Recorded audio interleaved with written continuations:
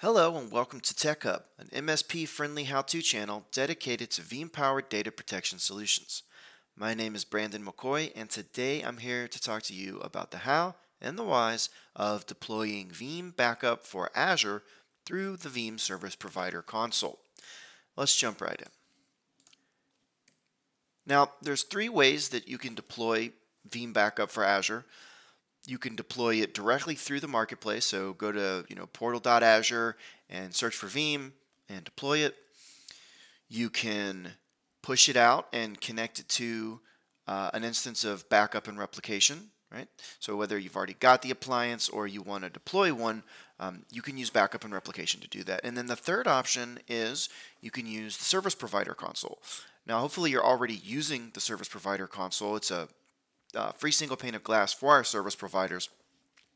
And um, all three of these options have pros and cons. We're going to talk about them. And of course, the goal here for this video is deploying it through Service Provider Console. But let's start with standalone. Uh, and if you know you're from the 90s, you, you hopefully get this reference here. Um, great band. Uh, so when you do this standalone, there's a few things that you're not getting. One, you can't use your rental licenses. So if you deploy the appliance directly through the marketplace and you put the license on the appliance, you have to purchase that license through the marketplace and you can't use a Veeam rental key. Also, what happens in the cloud stays in the cloud. So backing up to maybe AWS or backing up to a Cloud Connect and on-prem is not available. Restoring to an AWS, to a Hyper-V VMware, also not available. And the restore capabilities are limited to restoring a file, a volume, or the whole machine, and again, all within Azure. Out of these three, this is typically the least uh, favorable option. Now, through backup and replication, this honestly is a great way to do it.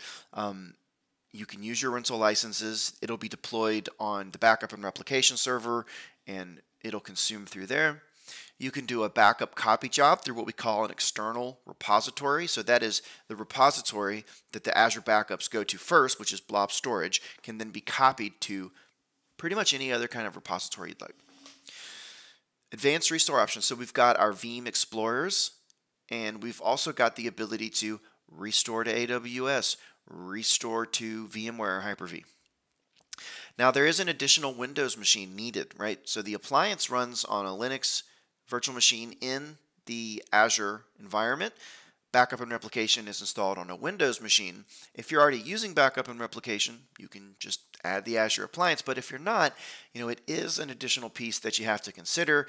I'll keep in mind the VBR server can be deployed wherever you'd like, in Azure, on-prem, doesn't matter. So the third option, um, this is kind of the best of both worlds, right? Uh, hopefully you don't need another Windows machine because you're already using the service provider console. You have the rental licenses capability. So in this case, your Cloud Connect server uh, is going to be consuming licenses for the Azure backups. True multi-tenancy for multiple customers using different cloud products and maybe even products outside of cloud backups.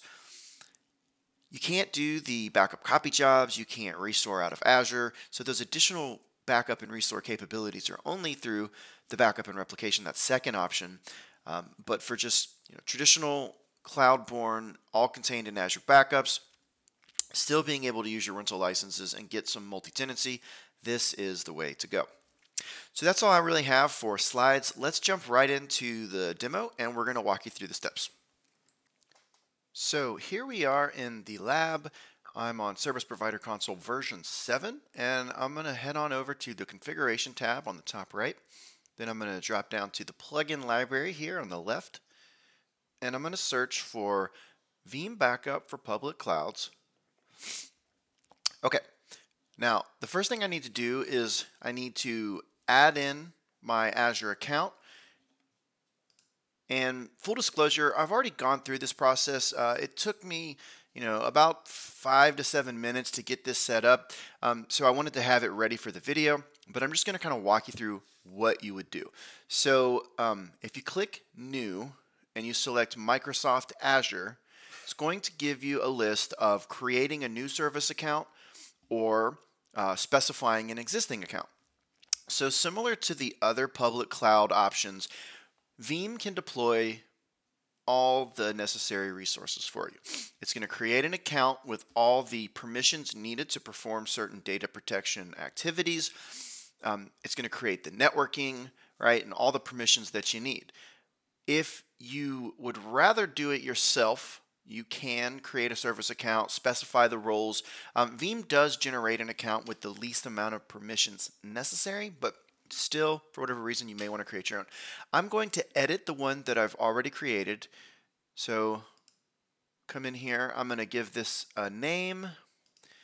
Okay, so typically I would select right here, um, create an, a service account, um, or I can specify an existing service account. So right here, uh, your screen should say uh, create service account. You've got your Microsoft Azure environment. For me, it's global. I, I imagine yours will be too. There's some other options there. Okay. You're going to be prompted with uh, an MFA. So you've got this um, code. You copy this. You um, click the link here. It's going to ask for that code. Then you're going to log into uh, your Microsoft account. Next, next, finish through there. Once you've got everything signed in and talking to the console, um, it will begin to deploy the service account and the necessary permissions in your Azure tenant so that you can uh, then create the appliance and all of the necessary components to start backing up your Azure workloads. all right, so next and finish there. I'm just going to cancel out of mine. Okay, I've got my Azure account set up. Now I want to actually deploy the Veeam backup for Azure Appliance. So I'm going to go down to Appliances right here. I'm going to select New, Microsoft Azure, this right here, this site, this is my Cloud Connect server, right? So whether you're deploying these appliances through backup and replication or through the service provider console, you're really deploying the appliance through a backup and replication server. And in this case, Cloud Connect is my backup and replication server. I'm just doing it from this uh, service provider console interface, okay? So this is the Cloud Connect server I'm choosing. Um, again, you can connect to an existing appliance, but I'm going to have Veeam deploy this for me. Click Next. Um, some licensing information. You know, you can read through that. Uh, once you're ready, click Accept. Okay, specify Microsoft Azure account to use for application. Now I'm going to select this one. Um, also, I could have just created an appliance and specified a new account from here. So whichever way you know you want to get to this screen, I like to create the account and then deploy an appliance in the account, the service account that I created. Okay, select a Microsoft Azure subscription, right? So you should be familiar with the Azure subscriptions. You've got your uh, uh, subscription, you've got your resource groups, and all your components under that. So I'm going to select a subscription. Um, the one I'm using is a Visual Studio Professional. This is uh, my own uh, environment. Select the required region. So this should typically be in the same region as the virtual machines you're backing up, right? There can become uh, it can become expensive when you start deploying resources in different regions and things are going across. Um, so I'm going to choose the same region that my production is in. Okay, North Central U.S. Okay, um, select a resource group for the backup appliance. All right. So I'm going to select this resource group right here. Okay. All right, so let's create a name. We'll call this VB Azure, Veeam Backup for Azure. Now you can put in a description for this appliance if you'd like. Okay, so this is where, you know, kind of the Veeam magic happens, right? I can have Veeam create the VNet, the subnet, and the NSG, right? So the virtual network, the, the little isolated environment where my environment is, um, the subnets, right, the different VLANs, and then all of the rules, the inbound, outbound that are needed. Um, I can also go into Azure and create those myself, right? Maybe you want to have a little more control. But again, for ease of use and just to show you how the Veeam software works, I'm going to have Veeam generate all this on its own. Okay, I'm going to have an IP address so that the um, Veeam Cloud Connect server can access the backup appliance, um, that you can, you know, like a shortcut to the appliance itself. and we'll select dynamic. Um, you can create an, a static IP address. You'll just have to uh, procure that from from the Azure portal. I believe there are some charges associated with that, so make sure you look into that before you decide uh, what to do here.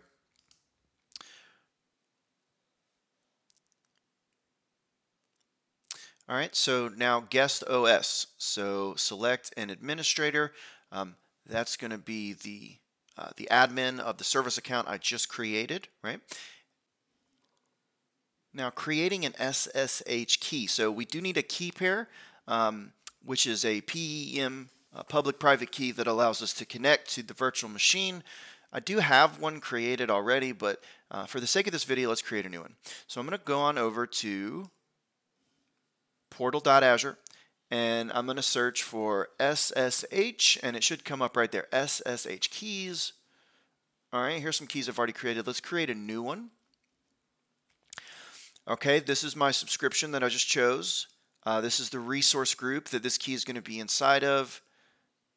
Region uh, should be left blank because it doesn't have a region. Okay let's give this a name. So we'll call this VB Azure key I think I have no spaces. Okay. VB Azure key. Okay. Generate new key pair. You can create some tags if you'd like to, you know, kind of uh, organize what this key is. But let's just go ahead and review and create. Okay, download private key and create resource. Okay, so now I've got the PEM key downloaded here. You probably want to hold on to that for safekeeping somewhere. However, in my uh, Veeam backup for, uh, for um, sorry, Veeam Service Provider console here, uh, let's go previous, let's go next. See if we can get that key to show up. There it is, VB Azure key, all right. Click next.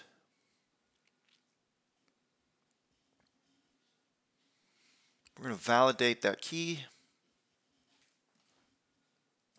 Okay, time zone. So obviously, you know, you want the uh, time zone to to be where uh, where you're operating out of, most likely.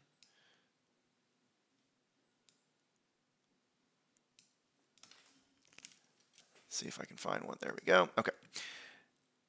Next, okay, we're going to have Veeam create everything for us. Let's finish. I'm going to pause the video. We'll be right back. All right, and we're back. It took about 10 to 12 minutes. I can see here that my appliance has been deployed, although there's an unverified under the appliance deployment. Let's click here. It says review the security certificate installed on the backup appliance. Okay, so in order to verify this, let's check the uh, appliance and click verify. Okay, this is a Veeam self-signed certificate. Looks good to me. Click next. Okay, so IIS credentials. So the um, Service Provider Console is installed on a Windows machine. There's a Web UI component to this. Now, that could be installed on the same machine for an all-in-one, or you may have put the Web UI on its own separate machine with its own credentials. Um, whatever the case, you want to put the uh, admin credentials of the Web UI, which may just be the web, I'm sorry, the um, system credentials of the service provider console itself. So I'm going to put in my local admin creds of my console because it is an all-in-one machine. Okay, verifying that all is good. Okay, and now all is well in the world. All right, so we've got our Azure account, we've got our Azure appliance with our resource group, our virtual network, subnets, network security groups, um, the permissions needed. There's one more thing we need to do, and that is add a repository. So Veeam Backup for Azure is going to back up to Azure Blob Storage. So we'll click New here. Um, if you haven't created an object storage bucket yet, you will want to go to your Azure portal and click Storage Accounts, create a storage account, select the, um, the resource group, the um, availability zone, or the re, you know the uh, data center you want it to be in. Um, once you've created the storage account, you'll then create a container. So hopefully you know how to do that. If not, you can refer to the Microsoft documentation. Um, you know, you can do that there first. I've already gone through that, so what I'm going to do is I'm going to create. Okay, we'll call this VB Azure Storage. Okay, repository account, we're going to go with default. You can add a new one here. Maybe you want to have a different account for your um, backups, which may be a good security practice. Okay, storage account. Give that a second. Okay, there we go. So VB Azure 321. Now you'll also notice I have the immutability disabled. Um, immutability prevents people from deleting your backups. That may be something that you also want to do. Uh, I, you know, I like to say in these videos, I'm not necessarily doing every little thing I would do in production. I'm just trying to get you through the clicks so that you understand how to deploy the product and, and the high level overview. Okay, so container. So I need a bucket inside of my storage account, and I've got this one created called Tech Hub. So let's apply that here. Okay, folder. Um, we'll just create a new folder and we'll call it VB Azure. Okay, storage account with soft deletion, enabled or not supported.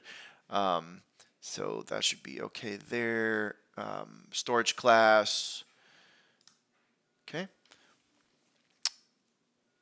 Okay, so this says cannot add a repository with the soft delete for blob option enabled. Okay, so let's go back to VB for Azure in case you run into this error and I'm going to go to my storage account right here and I'm going to scroll down to uh, blob soft delete and this is enabled by default okay so when I created the bucket I, I didn't change it so what I want to do is all I got to do is uncheck that box okay uh, and let's uncheck the box for blobs and containers and click save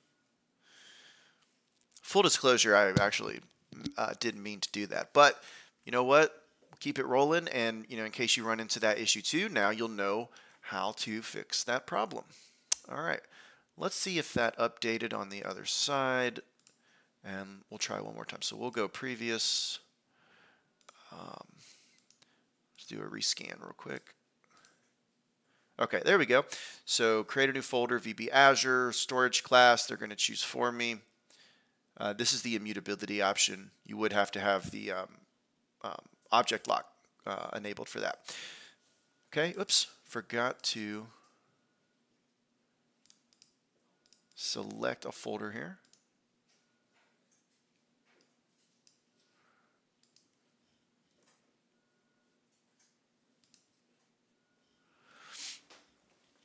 Okay, um, we can also enable the backups on the repository if we would like. I'm just going to leave that turned off for now.